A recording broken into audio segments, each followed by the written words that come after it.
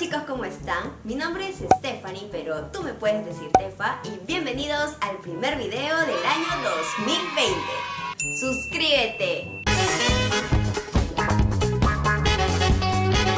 Hoy vamos a hablar acerca de una serie que me ha dejado con mucha intriga. Sí, me dejó con mucha intriga en la primera temporada porque me dejó con muchas preguntas y en esta segunda temporada también me ha dejado poco ahí con la curiosidad.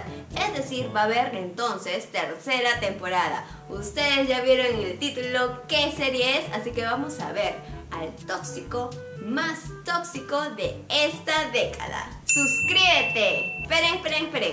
Por si no han visto la segunda temporada, tengo un video en el canal que lo voy a dejar por aquí. Y si no, previously en You. Anteriormente en You, pues Joe mató a su novia, la Beck, esta que sí estaba enamorada de él y después ya no y después sí. Y al parecer la ahorcó, la asfixió y la dejó por ahí tirada. La primera temporada termina cuando su ex novia Candace regresa. Y obviamente regresa para vengarse.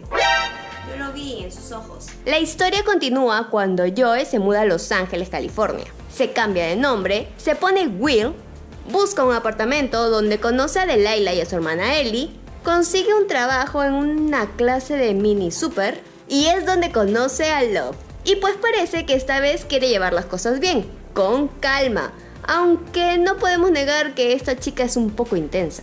Todo parece ir normal hasta que nos enteramos que Joe planeó todo. Sí, planeó conocer a Love.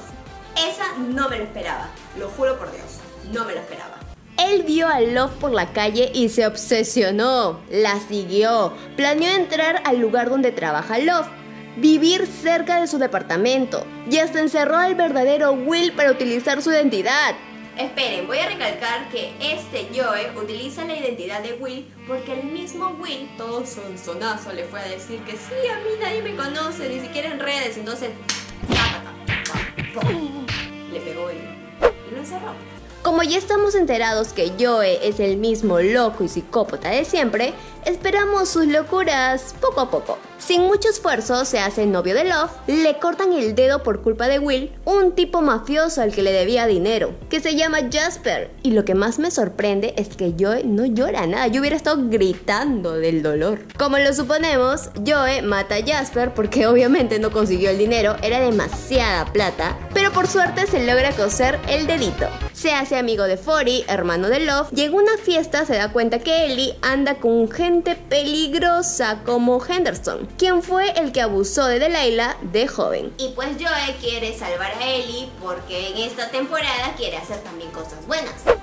Como era de esperarse, Joe se acuesta con Love estando su hermano ahí afuera. ¡Ah! ¡Qué puercos! Por otro lado, Ellie se va a encontrar con Henderson y obvio el maldito la droga. Entonces Joe entra en acción y hace lo que siempre le gusta hacer.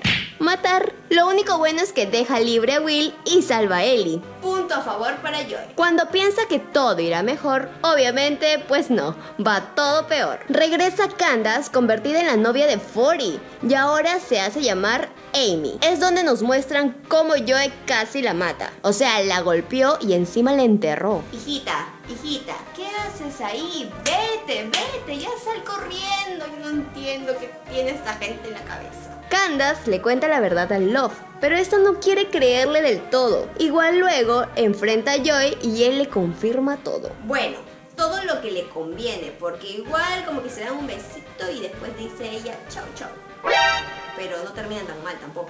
Bueno, ahora que Love ya no está con Joe, pues este se acuesta con Delilah. ¿Qué?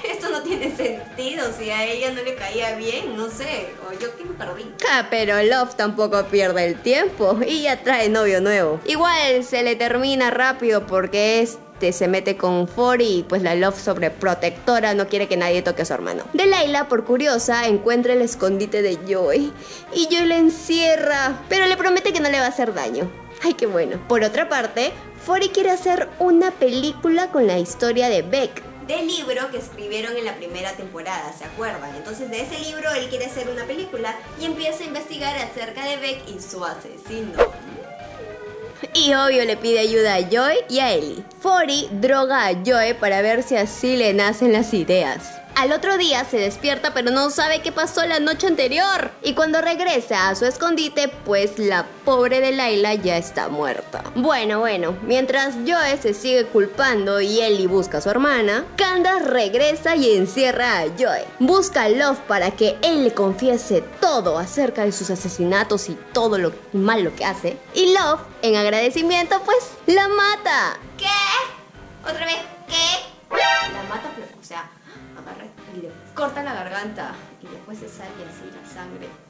Pero ahí no termina. La persona que mató a Delilah fue Love. Esta mujercita de Love no tiene absolutamente nada. Pero ahí todavía no termina todo pues nos damos cuenta que ella ya de chica, adolescente, ya había matado. Mató a la niñera o a la persona que, bueno, los cuidaba porque estaba acosando a Fori. Pero se van a ir para atrás, porque si tú creías que el Joe dijo, bueno, esta pues mata, yo también mato y vamos a ser felices para siempre, pues no, él intenta matarla. Claro, porque no le convenció la idea que está loca, yo loco, nosotros locos. No, no, no, dijo, aquí nada más puede haber un loco. Y no la mata porque ella le confiesa que está embarazada. La cosa es que quieren y aceptan tener una familia y ni Fori, quien ya sabe todo acerca de Joy, lo va a impedir. Para la suerte de estos dos, el policía mi novio de Delilah mata a Fori. Y ya por fin pueden vivir tranquilos. Termina cuando Joe se obsesiona con una vecina que sabremos su identidad pues en la tercera temporada. Y así termina la segunda temporada de You. Tengo un par de cosas que decir. Uno, o sea, cuando llegó Candace o apareció ya al final de la primera temporada, yo dije, wow, esta historia va a ser candente, fuego, fuego, fuego. Y la verdad que la pobre Candace pasó sin pena ni gloria.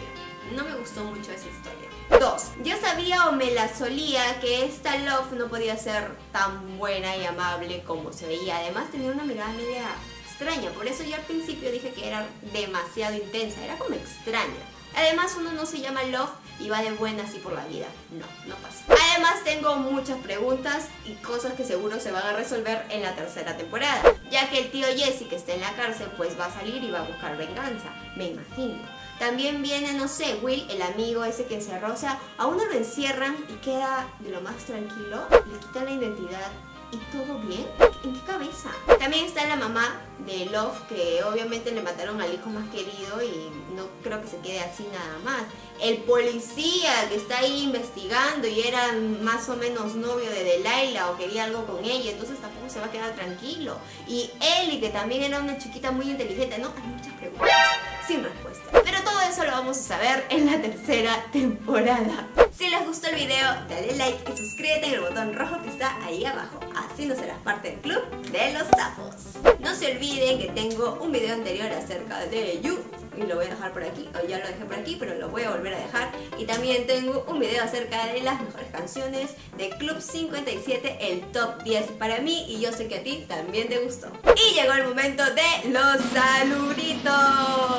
Sí, saludos para Maxman 2006. Soy el cuarto, ¿me manda saludos en tu próximo video? Sí, claro que sí, saluditos Maxman. Saludos también para Kevin Villarino. Hola Tefa, salúdame porfa. Saludos para Gordo cachas 3 o es un beso o bueno, primero. Y saludos para Ceci Cruz Flores. Hola, saludos Tefa. Así que si quieres que te mande saludos, pues solamente escríbeme ahí, mándame saludos Tefa y aparecerás en el siguiente No se olviden que tengo redes sociales, tengo Instagram, tengo Facebook y ahora también tengo TikTok y lo voy a dejar aquí en la cajita de información. Conmigo será hasta el próximo video. Les mando un besito. ¡Chao!